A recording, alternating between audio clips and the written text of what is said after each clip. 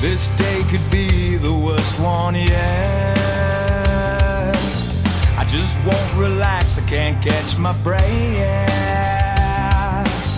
Cause I'm sick and tired of you'll be fine. Well, how do you know? Can you read mine?